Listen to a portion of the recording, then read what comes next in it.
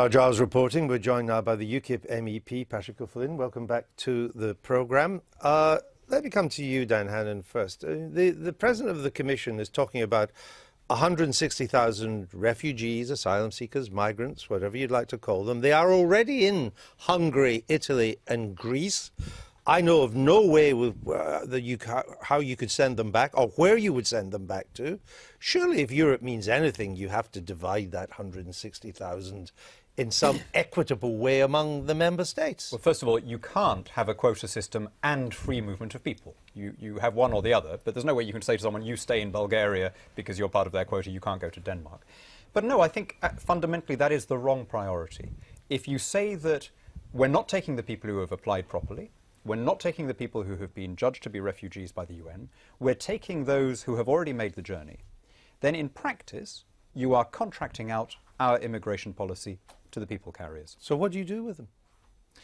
Uh, many of them are economic migrants. Many of them are identifiably from countries where there isn't a war and where they are not legally refugees. Now, don't get me wrong, I have every sympathy for them. You know, I hope that in their position I'd be doing but, what they but, did, but, what, they but do not have the you, legal what right would to you do with them? Uh, you, you, in, with the people who are already here, you need to repatriate them to their country of origin. What, to Syria? No, not no, not the Syrians. The ones who are not from Syria, who are, you know, I was, I, I just no, came back I, from Italy. I was. No, and I understand I they're not Syrians. Syrian no, I understand that, but, but that's because working. I understand that. But that's because the Syrians, uh, for obvious geographic reasons, have chosen the Turkish right. uh, route instead. So, as I, I say again, what would you do with them? Well, with the Syrians, we're talking about, first of all, a tiny percentage of the total, right? There are 7 million displaced in Syria, 4 million on the border, maybe 100,000 in Europe. So the whatever you do with that 100,000, and okay, you can spread them out, you can let them all go to Germany, you've still got an, a, a, huge number of people in far more dire need. And I think we do now need to look at establishing safe havens, both in Syria and maybe also in North Africa, places where people can, in a safe environment, make their application claim, have that process going on before they get to the EU, and then you can distinguish between those who are in need of sanctuary and those who are not. I suppose the danger of, of trying to allocate the 160,000 is that the other half million who would like to come over to Europe as well say, hey, this is, is very risky, it's dangerous, but if we get there, it's now going to be worth our while. Sure, there, Andrew, you have to be honest, there is some incentivisation when people see 800,000 in Germany. We have to be honest about that. There's also saturation in the camps. That's another reason people are coming in such dramatic numbers just at the moment. And what Dan is saying can happen. We can, as a nation, take people directly from the camps. Lebanon is in trouble now. But you asked the question, what happens to people here in the European Union mm. who are genuine refugees? They can't go back to Syria. They can't go back to Libya. So the rest of the European Union, aside from the UK, because we will opt out of this more than likely on Monday, will have to do something about that because Sweden, as you mentioned, Germany can't keep taking those levels of numbers. I think Sweden took something like 10 or 11,000 last month. Mm. Our, our, pattern will be to take from, directly from the uh, camps the rather than the people yes, who are there. 20,000 over five years. Yes. So even if that's our policy and we defend that policy, that's fine. But remember the, the proportionality there, remember the, what we're doing. So that's fine, that's our choice. But we will have to do something about Europe because it's a crisis. The other reason we'll have to do it is because people will keep coming to those borders. Right. Why? Because of the saturation of the camps. Even if we're giving that amount of aid, which is absolutely generous in our country, we are giving great amounts of aid. The fact is the UN aid is running down and the I saw that, that he was saying that they're running and out of money. Lebanon as well. Let, let me bring UKIP in. Hmm. What would you do with the 160,000 refugees or migrants, call them what you will, they're clearly people in, have been in some trouble. What would you do with them? Well, the key thing is that distinction, isn't it? And the economic migrants who've come in breaking the rules cannot be seen to succeed or there'll be new pull factors. And almost every element of the Juncker plan, from dumping the Dublin rules about claiming in the first safe country, giving access to the labour market, absorbing 160,000, they all salved his conscience and the conscience of the, the left of centre parties, uh, but they will all increase pull factors. And I'm afraid when I listen to Claude, I'm reminded of the view that the immigration debate in the Labour Party is people in big houses telling people in small houses that there's lots of room in Britain. And we but have diametrically different needs as regards Right. immigration But to the you- rest of Europe because we you- are not depopulated. I understand you, but you you're drawing a distinction between a refugee and an economic migrant, and that's mm. been legally, historically, a, a distinction. Mm. I wonder if it's a distinction that is really either identifiable or enforceable anymore. I mean, how, if you take a Syrian from Aleppo. Where President Assad has been dropping barrel bombs and there's been intense fighting there. The economy's been ruined.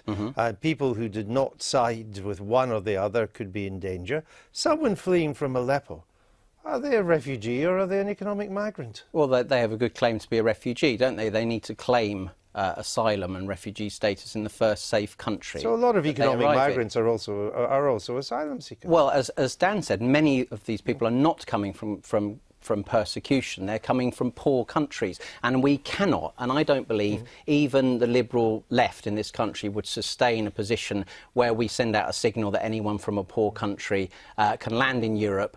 And, you know, what- Angela what- Merkel can say 800,000, yes, but they could be our 800,000. what about Eritrea, which is essentially a living hell on earth, Mm-hmm.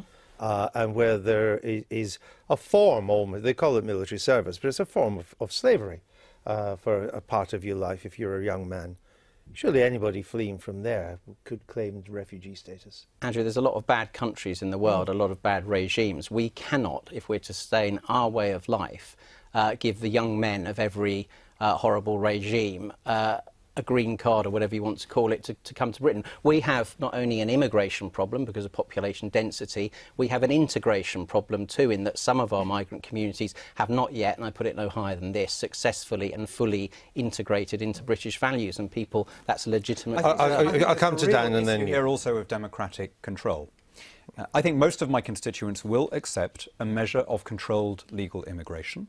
And I think most people, not everyone, there'll be some people watching who think it's a rubbish idea, but most would also accept that there should be a refugee component in that. But in exchange, they want to know that we are in control of who comes in and in what numbers. And of course, as long as we're in the EU, we have no such control, and that's the basic problem. And I'd say one more thing there will be British people of Commonwealth origin watching this programme now who know how difficult it is, you know, to bring Auntie over for a wedding because we've had to crack down so extremely on non EU migration so as to free up unlimited space for people with zero connection to the UK who happen to hold EU passports. Now, as we celebrate the centenary of all the volunteers who came and helped us when we were most in need, I think that is a shoddy way to be treating the relatives of those men. There may be an element of, of, of this of public opinion uh, uh, being hostile to taking too many, or even any in some cases, because there was a sense that over the past 20 years or so, the politicians lost control of the borders uh, and that immigration became uncontrollable, so they're reluctant now.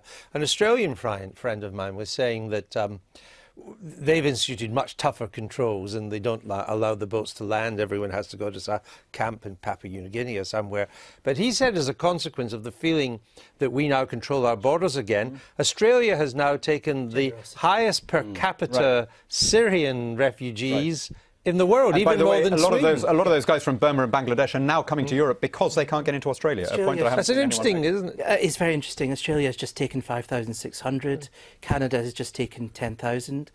Um, But these are continental-sized countries. can- can- can- with- hold on, hold on. No, no, British population but let or less. Patrick, Australia. Most Australians live in the same place. Patrick, Australia has of got a smaller population than us. Do And people would you know what the land mass don't- people don't comparison live is? in the out- 200 times? Patrick, people don't live in the outback, for goodness sake. They live in the cities. even so Andrew, please. We're, we- we're, more we're, space. we're, we're, Okay, we're, we're just we'll, we'll give you a geography lesson later. we'll give you a geography lesson later. I think my geography no. has been proven right. You made your point. Let him Andrew- finish. I think Andrew's point is correct, uh, which is that Australia, because of this kind of, um, you know, the way that it's gone is now generous. Canada's recovered that point. Look, look, the point is this. You're right about population density. Nobody's arguing that. But you're wrong about people wanting open doors. Nobody does. My party doesn't either. What we want is fairness and distribution. And let me finish the point by opting into something where we know there is a crisis that may impact on us, whether we're in the EU or not, people may come to our. Let me finish the point. We, we come to our shores and cause. Um, uh, issues for our, our infrastructure and so on, it is better to plan and organise compassionately for a crisis that is already there in the European Union than not do that. So opting into some management of that is Okay. better. Claude is making a brilliant case for leaving the on. EU. Let- because we could then have a al- Canada or already Australia type immigration. Oh, hold on. Let- already let- let have. Patrick You say you don't want an open door. We already have an open door to more than 200 neighbouring countries, more than 400 We don't million have an open people, with refugees. Turkey uh, in an accession But we don't have process. an open door We- to after what Juncker and Merkel are saying and the way they're treating this increasingly, But we they'll become an open door to the whole world so long as we're but we trapped don't in have an open door to refugees, and there's no point in saying If that. they if they acquire passports in Germany or any other EU country, then yes, we do. We're not But to many people, but to many people's dismay, We're not it, Schengen. it is British government policy not to take any of the 160,000.